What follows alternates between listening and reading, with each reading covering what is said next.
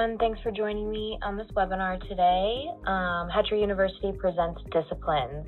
I will be discussing only four disciplines today combined driving, vaulting, jumper, and standardbred racing. All right, so the first topic I'm going to start with is combined driving. The first comprehensive and standard rules were laid down in the early 1970s. It is one of eight equine sports governed at the international level by the FEI and at the national federation level by USEF. The American Driving Society provides graduated levels of experience.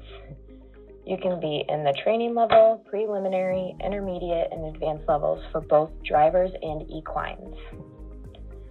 The rules in combined driving are aimed at safety, welfare, and fairness for all concerned. The purpose of all competition is to match the talents of horse and driver combinations against each other under fair and equal conditions. Rules and scoring are based on a system of penalties. The lower score, the better. Drivers and equines of any breed or size can form groups together to make partners. Equines in singles, pairs, tandems, and uni- unicorns and four in hands may compete. Just as essential to these partnerships are the grooms or navigators, those second or third persons on the carriage who, though they never touch the reins or whip, provide brains and support as well as balance. In the combined driving, there are three competitions of the sport. It is a beauty and control horses or ponies and their drivers individually in specified patterns and gaits to demonstrate the skills, obedience, and development appropriate to their levels of training before the watchful eyes of one or more judges. Dressage develops and displays polish, discipline, and athleticism of equine and driver dancing together. All right, next slide.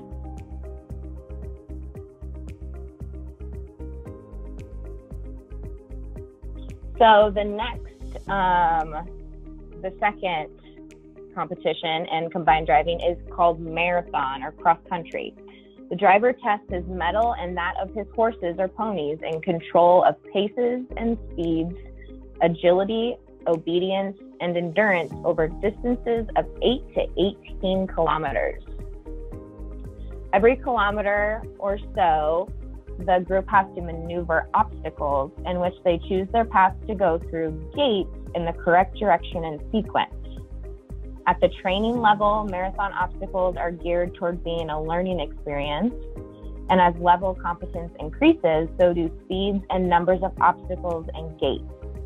In this competition, the partnership of the navigator becomes critically important. This competition requires thinking. So here on my picture, I have um, a group going through doing a marathon and they're going through their obstacles and you can see the two people on the back that are just holding on are called the navigators. And then there's one person on the very front that is the um, lead who's the one controlling all the horses.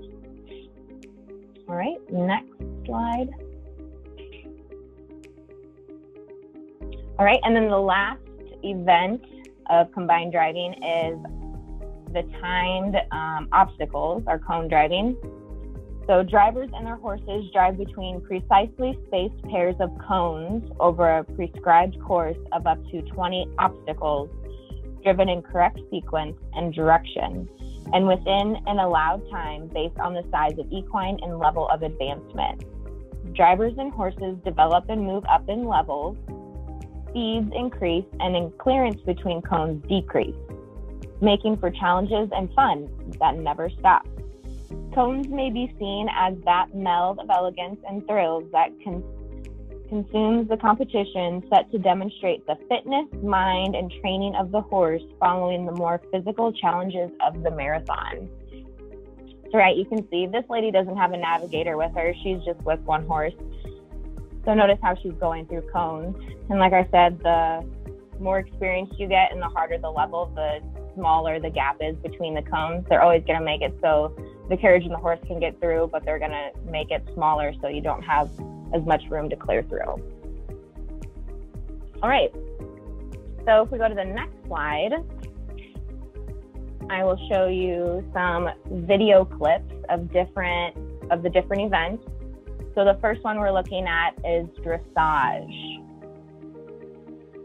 So they just have a one horse and they have a navigator on the back and they are doing a certain pattern and they're looking at the beauty and control of the horse, how well it listens. All right. And the next video we have is for the marathon.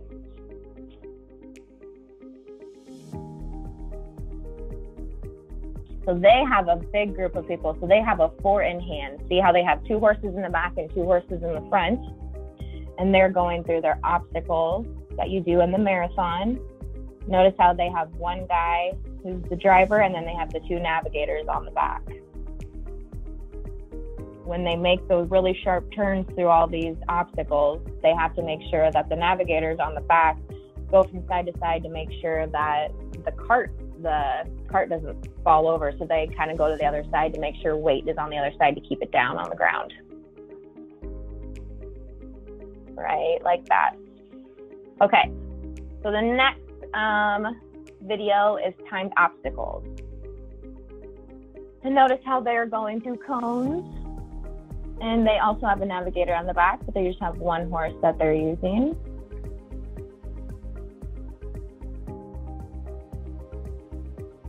Notice how they pick up speed pretty quick also. They just go through the cones.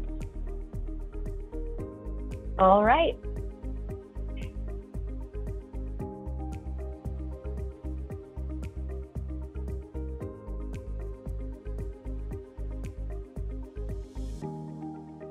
So the next, um, oh, so Waldo, sorry. So who is at who at Hetra used to be in combined driving is Waldo. So Waldo is um, one of the horses at Hetra that used to be in that used to be in combined driving before he came to Hetra.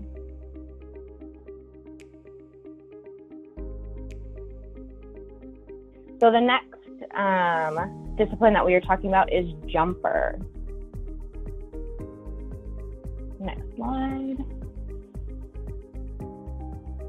So jumper classes are scored objectively based solely on the horse's athletic ability and over athletic ability over fences as measured by time.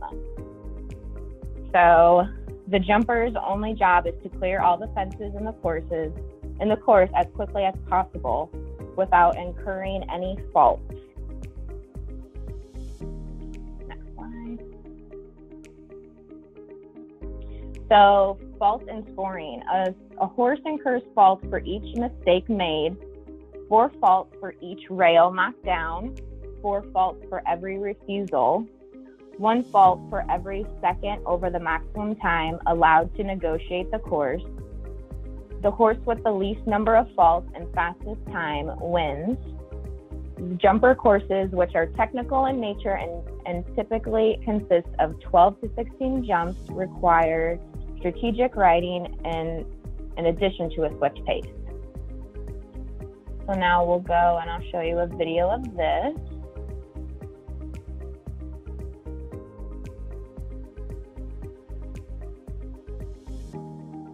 Notice how they're jumping over and they can get up there pretty high depending on the level of um, jumper they are.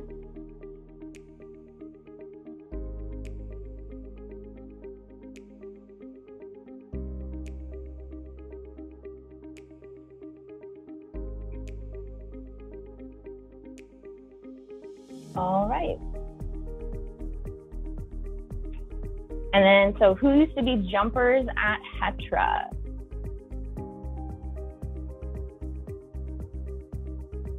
So Alley, Galaxy, and Windsor used to all be jumpers before their time at Hetra. So next is um, harness racing.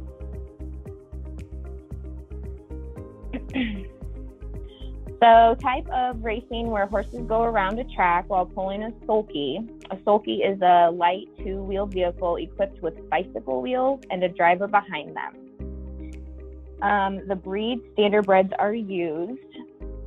Standardbreds are so named because in the early years of the standardbred stud book, only horses who could trot or pace a mile in a standard time or whose um, standard time of no more than two minutes and 30 seconds were admitted to the book. So, in order to get your, so back when, in order to get their standardbred papers, um, they had to do that amount, that distance in two minutes and 30 seconds. That's pretty fast.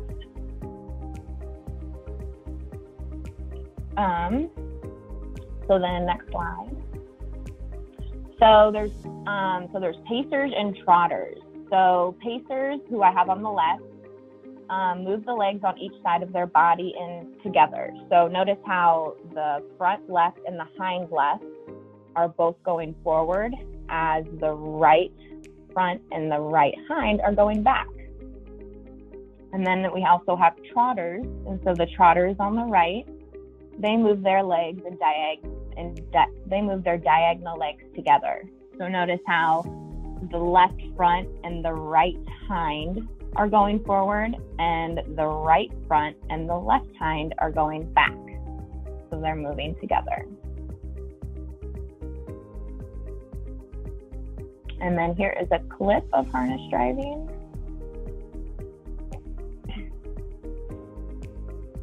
See how they have the little sulkies on the back, and that's how they're riding along with their horse. Pretty interesting.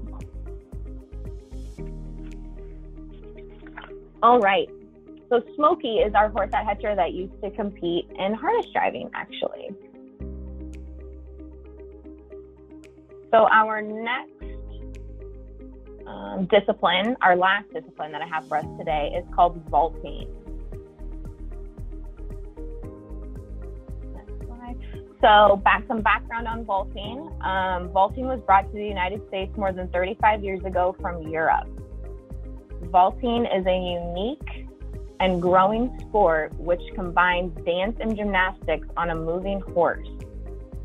It is a year round sport, so it can be indoors or outdoor. It can be in indoor outdoor arenas depending on weather and you don't have to know how to ride in order to vault, but vaulting can greatly improve your riding skills.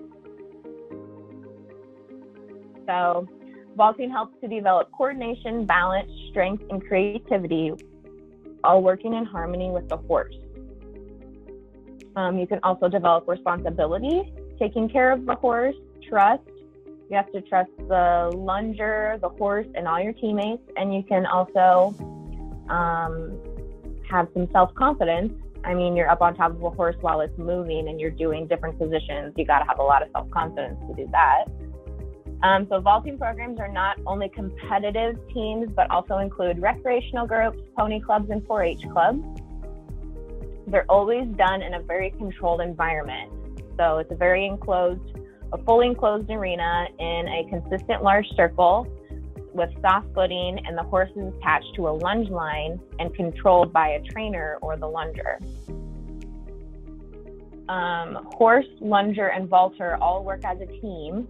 The lunger controlling the horse, the horse performing at a continuous gait, either the walk, trot, or the canter, depending on the vaulter level. And then the vaulter performs a series of gymnastics and dance on the horse as it moves and it moves in its circle. So you can see my picture. I have just a, an example of a group. So we have our horse, and then the lady in the black would be the lunger, and she's got a whip with her, and then um, all the rest of the team, all of the team of the vaulters next to them. So many different breeds and sizes of horses can be used for vaulting. Um, best horses are calm, strong, fit, and kind with a consistent gait. Vaulters may participate individually in pairs or as part of a team. And then the team competition, up to three members of the team are on the horse at once doing a variety of moves. Vaulters can be any age. So, is vaulting safe? Yes, it is. Many factors contribute to the safety of this sport, including the horse is, con- is controlled at all times by an experienced trained lunger. The vaulters are taught to condition their bodies with stretching and strengthening exercises, and they are taught safe mounts and dismounts at all levels.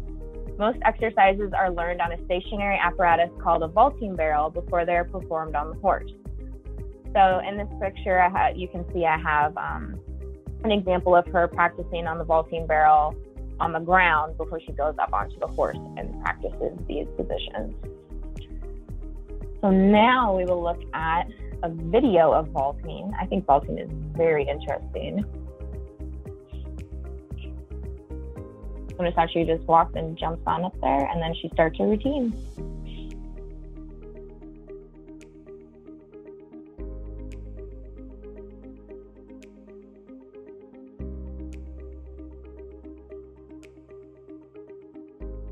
All right. So, what horse used to compete in vaulting before their time at Hetra? Lady. Lady was a competed in vaulting for a short period before she came to Hetra.